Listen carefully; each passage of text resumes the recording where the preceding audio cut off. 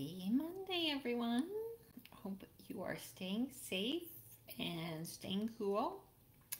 Today I'm going to do things a little bit differently. It is going to be a bit about uh, the technical side of art today. Um, when you finish your painting and you sign it, what are the next steps? So, first of all, your signature. Let's talk about your signature. You need to make a few decisions when the painting is finished about how you want to sign your painting. If you're going to use your first name or your last name. Do you want to print it? Do you want to write it? How exactly do you want the world to know you as an artist? For me, my first name is actually rarer than my last name, so I always sign it with Caprice. And for many years, I was very, had a very teeny tiny, tiny signature. And a lot of people didn't like that because, you know, when somebody's going to be investing in your work and give you their hard earned money to purchase one of your paintings, they want to be able to see that they have purchased a Caprice original. So I had to go a little bit bigger. And then I uh, usually pick a color from the painting to, um, you know, make it not stand out too much. For me, I don't want it to stand out too much. That's why I done it. I had done mine so small for many years. Um, but you don't want it to be too flamboyant. I've seen artists whose paint whose signatures are huge and a lot of swirls and spirals and lines and for me, that's not what the painting is about. You do have to consider where to put it on the painting as well because it does become part of the composition. composition. Don't forget that. It has to be in a specific spot where it doesn't deter from your focal point. You want it to be there, but not draw your eye. That's not what you want everyone to be staring at first off. So, um, yeah, a lot of things to consider.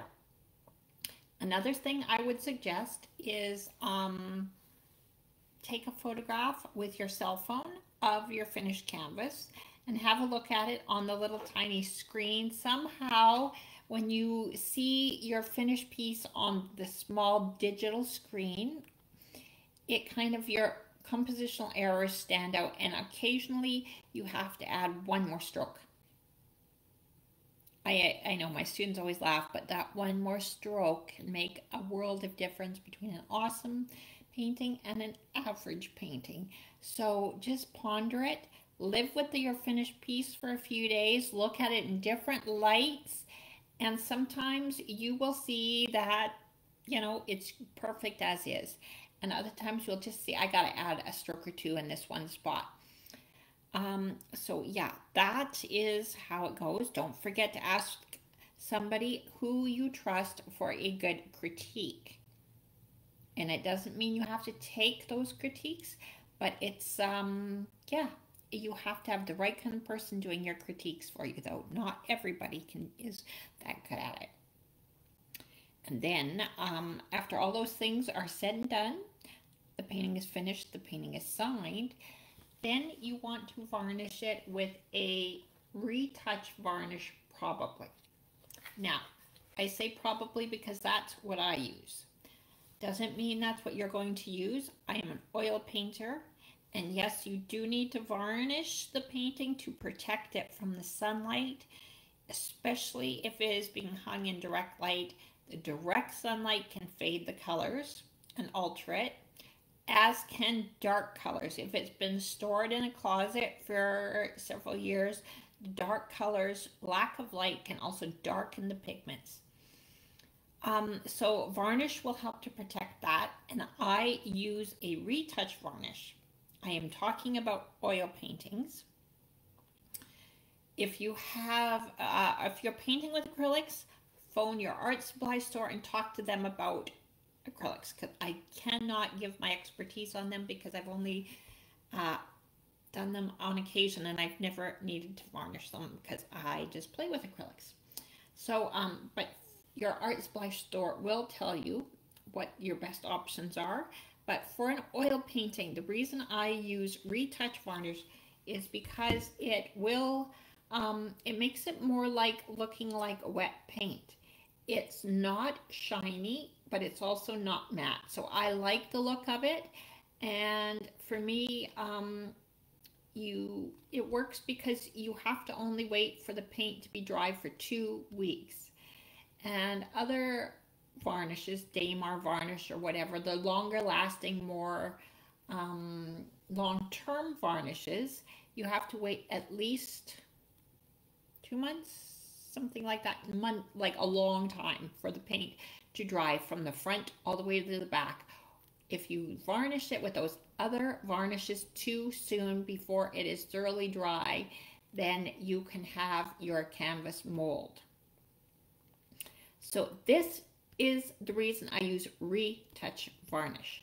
Retouch varnish you can paint in two weeks time. Once it's dry to the touch, you can go for it. And the other benefit with that is that you can go in and change it later on if necessary. You can paint over the retouch if you need to, which I have had to do on occasion. Um, the downside to this type of varnish is that it is not long lasting. It won't last you two decades. Yeah, probably, I don't know how long it will last, probably five years. I'm not entirely sure. I varnish the paintings before I sell them, before they leave the studio, and I've never really followed up with that particular vein. Um, if any of my clients need to talk to me about it, please call me and I would be happy to revarnish your painting. Um, but yes, that is how I varnish it. Now, the back side. Here we go. I hang the hooks one third of the width, the way down the canvas. So from the top to the bottom, this is a 12. So I've got it three, three, and three. So I've got this hung at three um, inches down. I normally would where can you see? There we go. Uh, I, it's sometimes better to hang it a little bit more in the middle here rather than that close to the edge.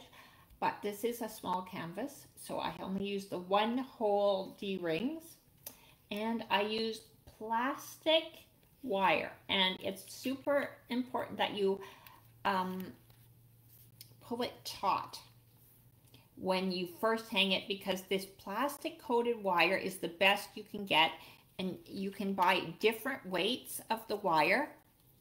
So if you are buying um, large canvases, make sure you get the heavy duty wire. And I like the plastic coated, but pull it taut because it does stretch.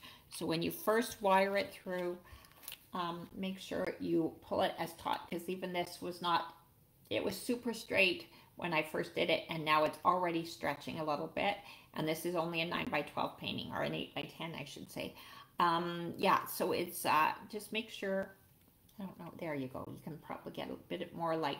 So this is just the one hole D-ring for small paintings. And um, then I have these little magic guys for bigger paintings bigger canvases. And I'm trying to get it so you can see there there's a little arrow. The arrow you want to point to the center of the canvas.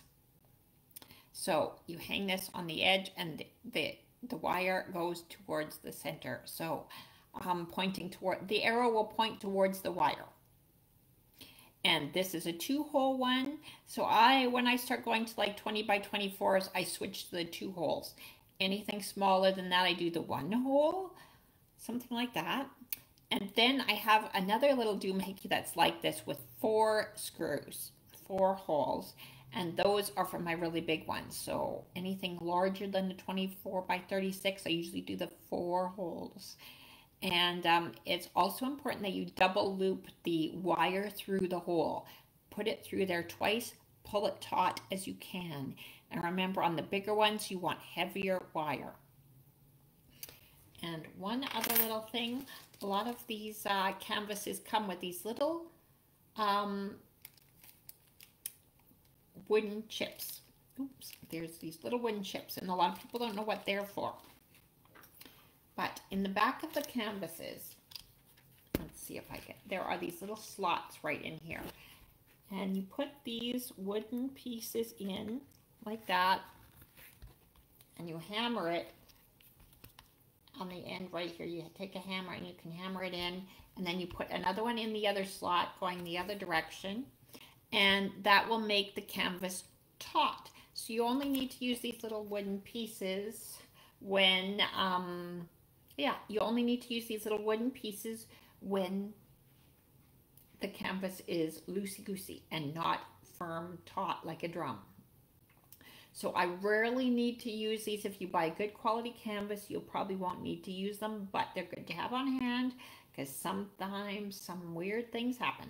So I hope that answered a lot of your questions. Thank you for the excellent questions, Lynn. And uh, if you have any more questions, drop me a note and I will fill you in. Okay, that's all for now. I have more planned for next week, so tune in again next week. Run long today, so bye for now.